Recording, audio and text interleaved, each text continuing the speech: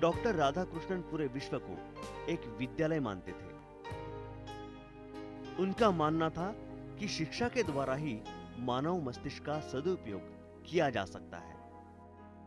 अगर हम थोड़ा सा इतिहास में झांके तो एकलव्य ने द्रोणाचार्य को अपना मानस गुरु मानकर उनकी प्रतिमा को अपने सक्षम रख धनुर्विद्या सीखी। यह उदाहरण प्रत्येक शिष्य के लिए प्रेरणादायक है।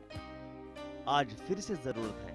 इस गुरु शिष्य की परंपरा को मूल स्वरूप में लाने के लिए कठोर प्रयास किए जाने चाहिए।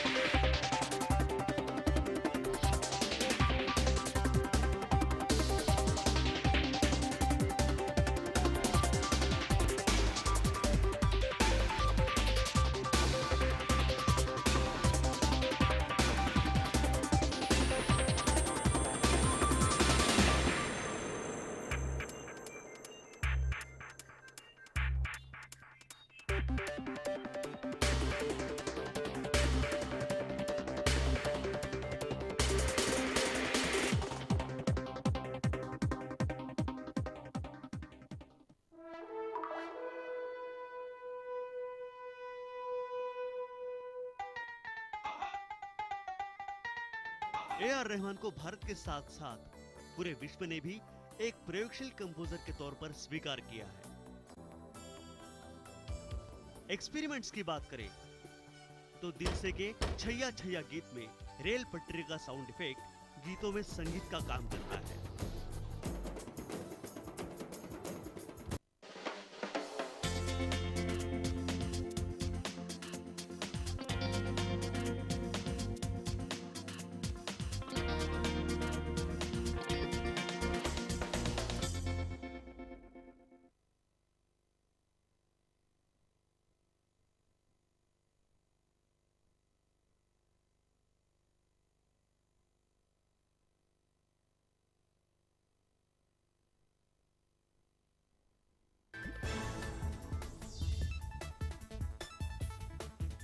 महाराष्ट्र और हरियाणा में चुनाव की तारीख का ऐलान 15 अक्टूबर को होंगे। महाराष्ट्र और हरियाणा में चुनाव और 29 अक्टूबर को होंगे परिणाम घोषित।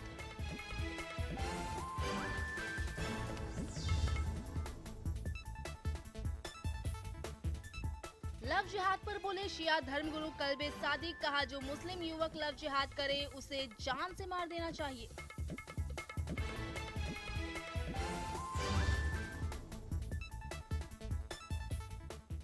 जम्मू कश्मीर में बाढ़ का कहर नहीं हुआ, कम रामबन में खिसक रहे हैं पहाड़, बचाव कार्य जारी।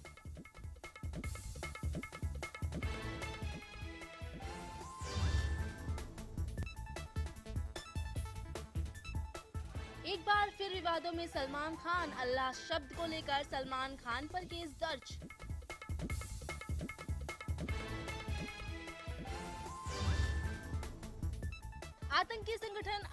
आईएसआईएस को लेकर सीआईए का बड़ा खुलासा। सीआईए ने अपने आकलन में कहा आईएसआईएस लड़ाकों की संख्या आकलन से तीन गुना ज़्यादा।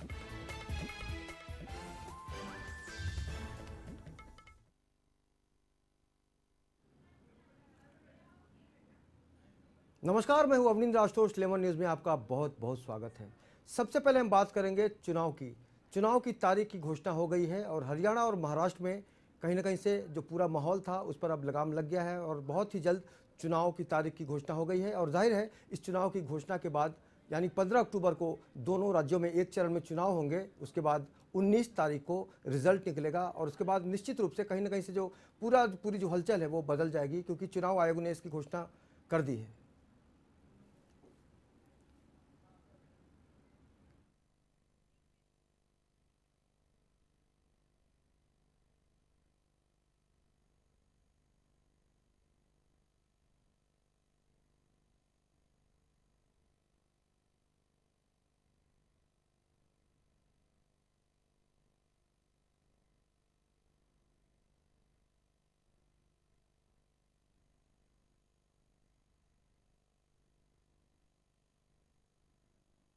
Notification will be issued on 20 9, 20th 9, 2014, which is Saturday. That is the date of issue of notification. And uh, last date for filing nominations will be 27, uh, 27 9. सत्ताईस तारीख को है Sataik September. Okay. Then last day, sorry, scrutiny will be on 29th September, Monday. The 29th September. Last date for withdrawal will be 1st October. And date of poll will be on 15th October, which is Wednesday. For both the Oh, yeah, yeah, for both. It's only one day poll in both the states. And counting on 19th October. The election administration और ज़ाहिर है जिस तरह से तारीखों की घोषणा हो गई है यानी एक तारीख की घोषणा हो गई है पंद्रह अक्टूबर इस बारे में और भी ताज़ा जानकारी के चलते हमारे संवाददाता पूनम यादव के पास जो सीधे हमारे साथ जुड़ रहे हैं फ़ोन लाइन पे। पूनम ये जो घोषणा हुई है चुनाव आयोग की तरफ़ से उसके बारे में क्या कहेंगी आप? जी बिल्कुल अभी तो आपको बताना चुनाव आयोग ने हरियाणा और महाराष्ट्र विधानसभा जी। चाहेंगे और ये ये विधानसभा चुनाव जो होना है महाराष्ट्र तो अठासी सीट पर होगा और हरियाणा में नब्बे सीटों पर चुनाव होगा। तो महाराष्ट्र में कुल लगभग आठ करोड़ पच्चीस लाख मतदाता है जबकि हरियाणा में एक करोड़ पैंसठ लाख मतदाता है। तो कुल मिलाकर ये बहुत ही सोच समझ कर किया गया है। तो दोनों जो दोनों राज्य हैं दोनों राज्य का एक ही दिन मतदान होना है पंद्रह अक्टूबर को। तो और आज से जो है वो ये लागू भी हो गया है। जी बिल्कुल। पूनम अगर हम कहें नेताओं के लिए जो उम्मीदवार होंगे उनके लिए वक्त बहुत ज़्यादा नहीं है तो किस तरह की हलचल होगी उनके बीच? जी बिल्कुल अभी बिल्कुल वक्त नहीं बचा है। अगर बात की जाए एक महीने से भी कम का वक्त है तो ऐसे में तैयारियाँ तो वैसे हर एक पार्टी ने शुरू कर दी है चाहे वो भाजपा हो चाहे वो कांग्रेस हो एनसीपी हो। जी।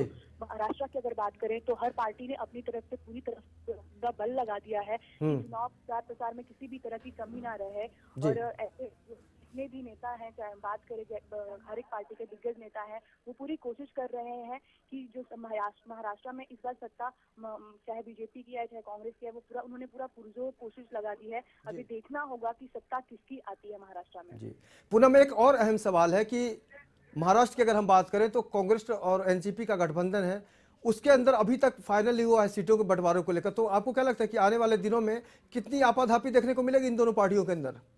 जी बिल्कुल आपने सही कहा कि आने वाले समय में अभी जैसे कि मैंने कहा कि अभी एक महीने से भी कम का समय है ऐसे में एनसीपी और जो कांग्रेस पार्टी है उनके बीच अभी तक कोई तालमेल नहीं बन पा रहा है कि क्या करने वाले हैं। उनकी सरकार गठबंधन अगर बात पिछले पंद्रह सालों की की की जाए जबकि महाराष्ट्र में पिछले पंद्रह सालों से एनसीपी और कांग्रेस कांग्रेस सत्ता में है तो इस वक्त जो कि बीजेपी का जैसा कहा जा रहा है मोदी लहर है बीजेपी की लहर है तो अगर वो दोनों पार्टी एक साथ नहीं आती है गठबंधन में नहीं होती है तो कहीं ना कहीं नुकसान तो होगा ही और अभी तक किसी भी तरह की सफ़ाई पेश नहीं की गई है ना एनसीपी की तरफ़ से ना कांग्रेस की तरफ़ से। तो ये देखना वाकई दिलचस्प होने वाला है कि आने वा, कि इस इन इन एक महीनों में वो दोनों पार्टी क्या डिसाइड करती हैं।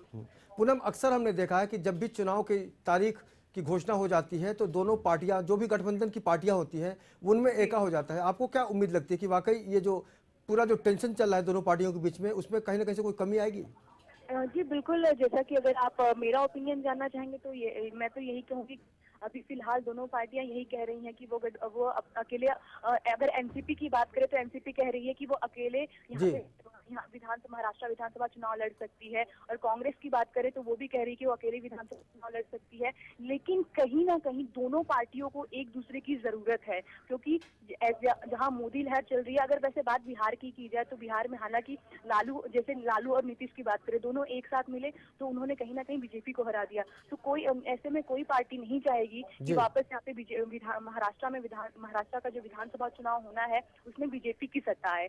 तो जहाँ तक मेरा अनुमान है मुझे ऐसा लगता है कि अंत तक जाते जाते दोनों पार्टियाँ एक दूसरे के साथ हो जाएँगी। अगर हम शिवसेना और भारतीय जनता पार्टी और आरपीआई की गठबंधन की बात करें तो रामदास अठबले जो हैं उन्होंने भी एक मांग रखी है डिमांड रखी है और कहा है कि हमें दो अंकों में मतलब सीटों का बंटवारा चाहिए। तो कहीं ना कहीं से वो भी दबाव की राजनीति कर रहे हैं। शिवसेना बीजेपी भी अपने अपने तर्क के साथ खड़ी है। और आपने पिछले दिनों महसूस किया होगा पूनम की भारतीय जनता पार्टी का जो रुख था उससे ऐसा लग रहा था कि वो बहुत ज़्यादा मतलब अति आत्मविश्वास दिखाने की कोशिश कर रही थी भारतीय जनता पार्टी जब अमित शाह आए थे। बाद में क्लाइमेक्स में उन्होंने उद्धव ठाकरे से मुलाकात की। आपको नहीं लगता कि आने वाले दिनों में इसका भी कहीं से जो जो रिश्ता में जो खटास की बात आई थी उसका भी असर पड़ सकता है गठबंधन पे? बिल्कुल आशुतोष मैं आपको आपसे आपसे बताना चाहूँगी कि कहीं ना कहीं बीजेपी जो है उसमें अति आत्मविश्वास हो गया है। कि अगर बात रामदास आठवले की की जाए तो उन्होंने पिछले दिनों ही उन्होंने कहा था कि अब वो सिंगल सीटों पे नहीं मानने वाले हैं उनके दो की गिनती की चाहिए। दो की गिनती अर्थात उनको जो सीटें चाहिए वो दस के ऊपर की चाहिए। तो ही वो मानेंगे तो ही वो गठबंधन में रहेंगे नहीं तो वो नहीं रहेंगे।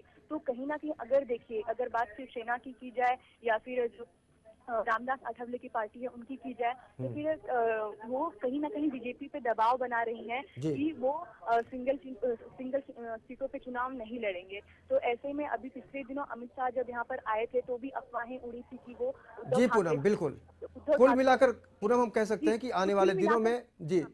अब जितनी भी पार्टियाँ हैं महाराष्ट्र में, वो कहीं ना कहीं से अब तैयारी करेंगी कि वाकई क्या से क्या करना है, क्योंकि आचार संहिता लागू हो गया है और निश्चित रूप से अब हर पार्टी यही चाहेगी कि वो ज़्यादा से ज़्यादा वक्त जनता के बीच आए, ताकि ज़्यादा से ज़्यादा सीटों का एक जो अनुमान है उनका वो वो हासिल कर सके। इस तमाम जानकारी के लिए पूनम, आपका बहुत बहुत शुक्रिया।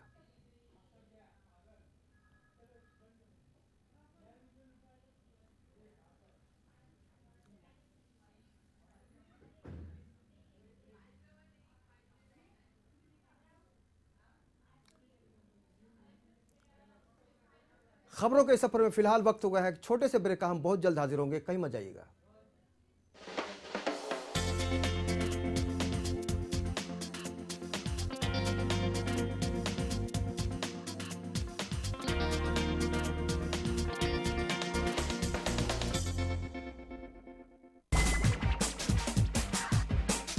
मार्केट समझना नहीं है कोई रॉकेट साइंस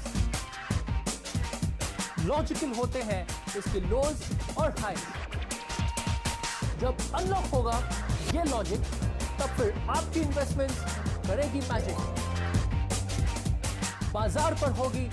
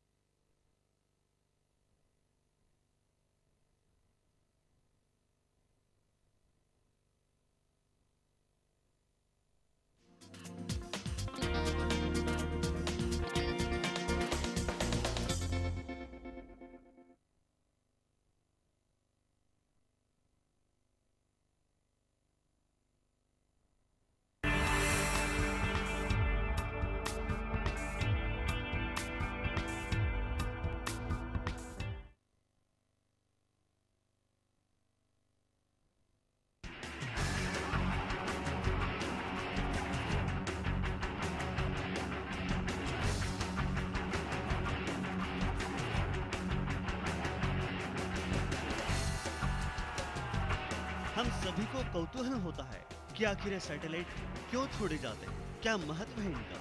सबसे पहला P S L V D one 1993 में अंतरिक्ष में भेजा गया, जिसका वज़न लगभग 800 किलोग्राम था। ताज़ा उदाहरण फाइलिन का लेते हैं। फाइलिन तूफ़ान की सूचना हमें पहले ही मिल चुकी थी। इसीलिए उससे हुई हानि से हम बच पाए। अब ये पूर्व सूचना मिली हमें इसी सैटेलाइट के ज़रिए। यही काम होता है इन सैटेलाइट्स का। मौसम की गतिविधियाँ, साथ ही साथ जानकारी, अंतरिक्ष से पृथ्वी पर भेजना, इन सैटेलाइट का काम है। दूरसंचार विभाग, टीवी ब्रॉडकास्ट, डिजास्टर मैनेजमेंट, इन सभी में सैटेलाइट की अहम भूमिका होती है।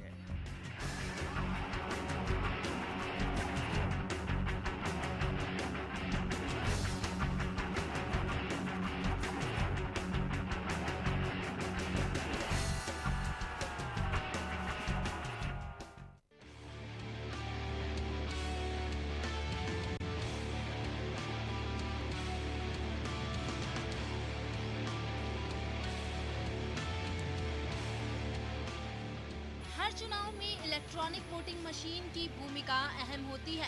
गत वर्षों में चुनाव के वक्त मतदान बैलेट पेपर पर होता था, लेकिन ये बहुत ही जटिल प्रक्रिया हुआ करती थी, जिसमें बहुत ज़्यादा श्रम और वक्त जाया होता था।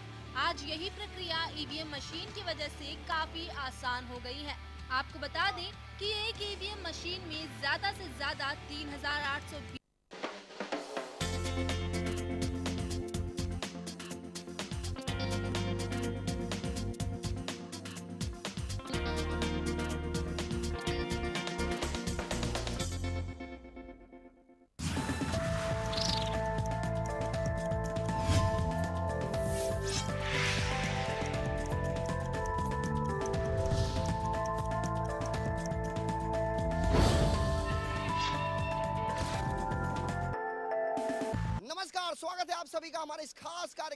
में हूँ संजय मिश्रा। लमन न्यूज़ के इस खास कार्यक्रम में आज हम दिखाएँगे बांद्रा पश्चिम के उस मन्नत का नज़ारा। ये है मन्नत, जो देश की आर्थिक राजधानी मुंबई के बांद्रा पश्चिम में स्थित है। और ये बॉलीवुड फ़िल्म अभिनेता शाहरुख खान का निवास स्थान भी है। मन्नत के ठीक सामने समुद्री छोर है अरब सागर का। देश की आर्थिक राजधानी मुंबई, जो सात अट्टालिकाओं पर खड़ी है, इसकी सौंदर्यता देखते ही बनती है। सैलानी यहाँ पर बड़े पैमाने पर आते हैं, यहाँ के माहौल का लुफ्त उठाते हैं। लेकिन एक तरफ़ शाहरुख खान का ये मन्नत तो इसके ठीक बगल में दूसरी तरफ़ एक ऐसा रास्ता जो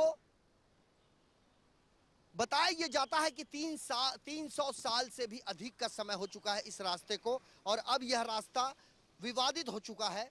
बड़े पैमाने पर कैथलिक समाज के लोग हर साल यहाँ पर आंदोलन करते हैं, विरोध प्रदर्शन करते हैं लेकिन नतीजा अब तक कोई कुछ भी निकलकर सामने नहीं आ पाया है। हम अपने तमाम दर्शकों को बताना चाहते हैं कि बांद्रा का है मन्नत। मन्नत के ठीक बगल में उस सड़क का नज़ारा, उस सड़क से लग के चर्च की तरफ़ जाने वाला वह रास्ता हम अपने तमाम दर्शकों को बता रहे हैं। लगातार यहाँ पर बताया ये जाता है कि 300 साल बीत चुके हैं। जो सड़क 300 सालों से है, जहाँ से बड़े पैमाने पर लोग आते व जाते हैं, स्थानीय रहिवासी परमानेंट रेसिडेंशियल बांद्रा के और कैथलिक समुदाय हर साल जिस प्रकार से माउंट मेरी जो मेला लगता है, जो पर्व लगता है, जिसमें लाखों की संख्या में बड़े पैमाने पर श्रद्धालु प्रतिदिन यहाँ आते हैं माउंट मेरी माता रानी का दर्शन करने के लिए, जो मेला यहाँ लगता है वह एक अद्भुत नज़ारा होता है, वह देखने लायक होता है और इस नज़ारे को देखने के लिए दूर दूर से कई लोग आते हैं, लेकिन वर्तमान में आज का जो विषय है, आज का जो एजेंडा है, हम अपने तमाम दर्शकों को बताना चाहते हैं कि शाहरुख खान के मन्नत बंगले के ठीक बगल का जो रोड सीधे ऊपर की तरफ़ जाता है, माउंट मेरी चर्च की तरफ़ जाता है, उस रास्ता, वह रास्ता अब विवाद का सबब बन चुका है। बृहन मुंबई महानगर पालिका, क्या वजह है कि किंग खान को इतना शह दे रही है? इतना उनका पक्ष ले रही है कि उन्हें शाहरुख खान का, शाहरुख खान की फ़िक्र तो है, लेकिन बांद्रा में सालों साल से कई पीढ़ियाँ गुजार देने वाले कैथोलिक समाज का अब तक उन्हें कोई परवाह नहीं है। ये आरोप है हमारे साथ। यहाँ पर निकोलस अल्मेडा साहब हैं वॉचडॉग फाउंडेशन के सर्वे सर्वा, जो समय समय पर कई गतिविधियों में लिप्त रहते हैं और जनता की समस्याओं से संबंधित आवाज़ बुलंद करते हैं। निकोलस अल्मेडा साहब, स्वागत है आपका। आपसे जानना चाहेंगे, मसला जो है, सालों साल से लंबित पड़ा है। जनता भी जानने के लिए उत्सुक है कि शाहरुख खान के बंगले के बगल के रोड का आखिर माजरा क्या है? ये 300 साल का पुराना रोड है, इसको सीमेंट रोड बोला जाता है। और ये सीमेंट रोड इसके लिए बांधा गया था, ये जितने भी भाविक पहले 300 साल से जो माउंट मेरी फेयर्स को आते, जतरा को आते, वो समुंदर के किनारे में अपने नाव रख के सीधा चलते थे। अपंग लोग ये रोड को वापरते हैं, छोटे बच्चे वापरते हैं, बूढ़े आदमी वापरते हैं और शॉर्टकट जो बीमार आदमी है वो वापरते हैं। लेकिन इस रोड को बंद करने का साजिश, ये बीएमजी कॉरपोरेशन और सरकार की मिली भगत से और लोकल पॉलिटिशियंस के हिसाब से, ये सिर्फ़ शाहरुख को बचाने के लिए और शाहरुख का जो इलीगल रैंप है उसको बचाने के लिए ये रोड बंद करने की साजिश है। पिछले तीन साल से ये रोड बंद था। हर बैंड्रा पैर के अंदर यही बोलते हैं, कारण बताते हैं कि शाहरुख की सिक्योरिटी अबे शाहरुख की सिक्योरिटी है तो माँ के साय में शाहरुख खान आप है, मदर मेरी के साय में आपको कुछ नहीं होगा। आप दुनिया के लिए हीरो है, लेकिन हम जितने भी श्रद्धालु हैं, माँ के भक्त हैं, इसके लिए आप बहुत